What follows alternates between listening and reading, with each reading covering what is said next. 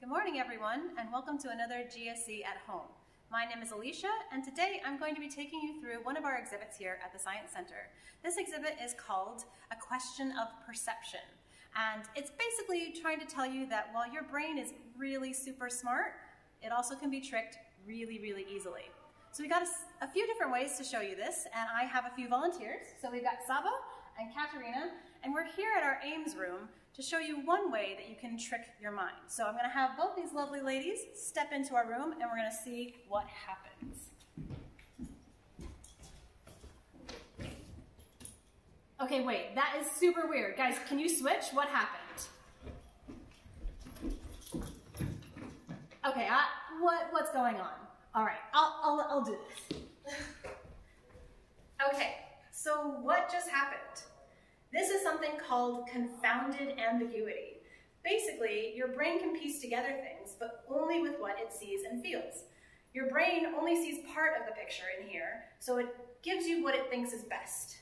You think that you see a flat floor, and you think that both of these ladies are the same distance away from you.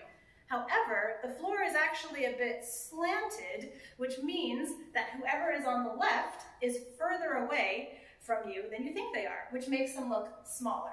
So we're all gonna step out, I'll show you, we're all normal sized.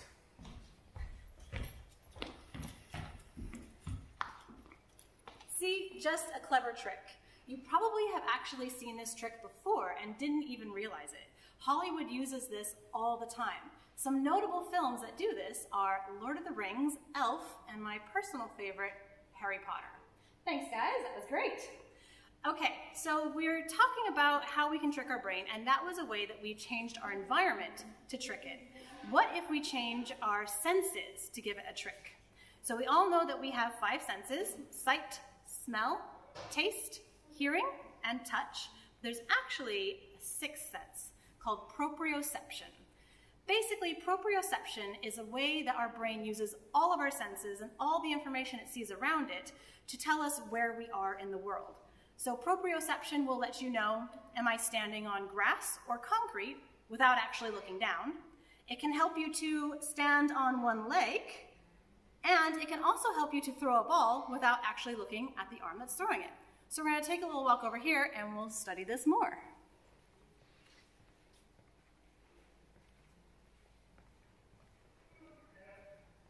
All right, so I've got my friends Laura and Claire and they're throwing a ball around, which is super exciting.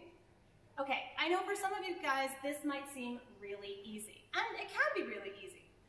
But what if we make it a little more tricky? So I'm gonna ask Claire to pop on some perception goggles. Really funky things that make you look like a frog.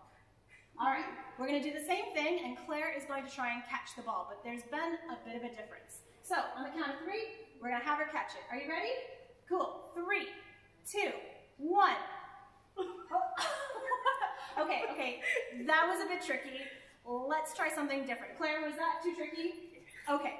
We're going to do something much more simple.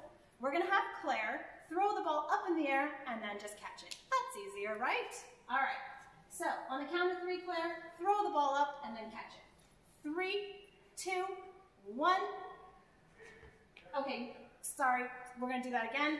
Claire, just pick the ball up. Just lean over, pick it up. Yay! Everyone give Claire a big round of applause. Thank you so much. So what was going on there? We changed Claire's perception of her sight by putting on these goggles that have prisms on them. The prisms actually reflect the light that goes into your eyes and makes everything look like it's shifted to the left. So you may have seen Claire bending down and reaching to the left, that's because her sight made it look like that's where the ball was. So she was having a problem, and her brain was trying to catch up with the new information. If Claire had done that for a lot longer, kept the goggles on her face, her brain would eventually adapt, and she would have been able to catch the ball. But if she had then taken the goggles off, her brain would have had to adjust to the new sight, and she probably would have had problems trying to catch the ball normally. So that's a way that we can also trick our brain through changing our senses. So what if we trick our brain by changing both of the environment and the senses? We're going to do that in one of our most popular exhibits, the Wacky Salon. So follow me and we'll check it out.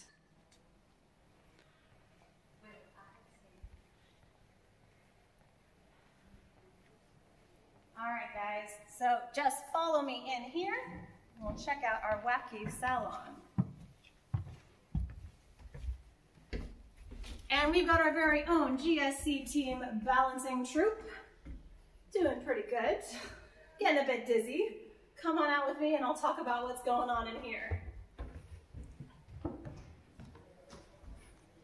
Whew, okay, so what was happening?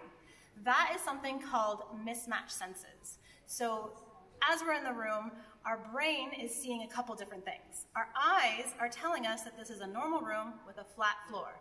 But our inner ear, which helps us to balance, is telling us, wait, no, we're on a slanted floor. Your brain is getting all of these mismatched messages, and it doesn't really know what to do. So it gives you a hard time balancing because your brain is trying to figure out which message is right. You guys can try some of these sensory perception experiments at home if you'd like. Just find a broom. When you look down at the floor, put the top of the broom to the top of your forehead and give it a good spin around a couple of times, maybe five or 10.